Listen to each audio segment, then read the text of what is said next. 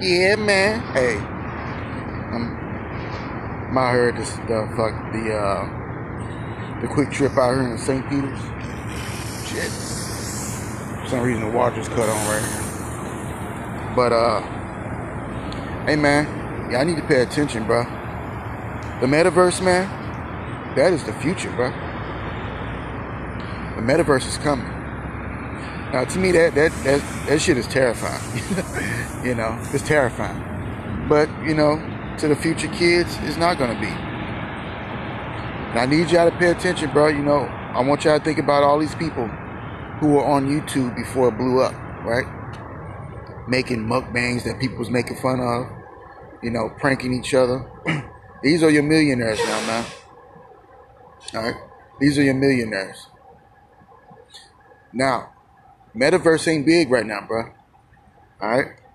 At some point, it will be. So uh, you may want to make that jump now. Create your Metaverse account. Um, and start dabbling into it, bro. Jump on before everybody else do. Okay. Be a leader. Now, I'm gonna be honest, bro. The metaverse, I don't think that's something I'm gonna do. You know, I think of movies like WALL-E, or that cartoon, where, you, where the humans sitting on a damn float thing, all fat, eating all day, and the robots taking care of them. Um, the Matrix, where humans are being used as, um, I guess, heating pods to power the robots. Um, and there's this game called Fallout that they were talking about on Coach Greg Adams' show, The Free Agent Lifestyle. Um, somebody said on Folly, on WALL-E that uh, that the humans were in the metaverse and the robots was taking care of their regular bodies. So I'm guessing giving them food and everything, which takes me back to the Matrix.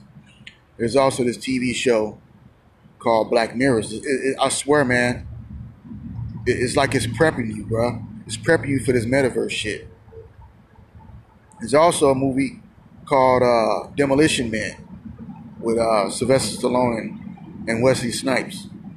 Bruh. it's crazy, man. It's crazy, bruh. You know? I don't think I'm going to participate in it. Hopefully, I'm given a choice. Hopefully, I'm not. You mean you, you know you you never know who who's watching on the other side of these videos, man. You know, so you gotta be careful with stuff like this. But I'm doing this for this to give so my sons can know my thinking, you know. But yeah, man, hey, y'all be ready for this future, man. Jump on it now. Why ain't nobody on it, man? The metaverse. It's gonna be big, bro. All right. It ain't nothing right now like YouTube wasn't nothing back in 2000, what, in eight? That's when I created my first YouTube account. I look at it now, bro. People got whole movies on it, man. Think future, think long term, bro. All right. Anyway, man. Yeah, yeah, yourselves a good day, bro. All right.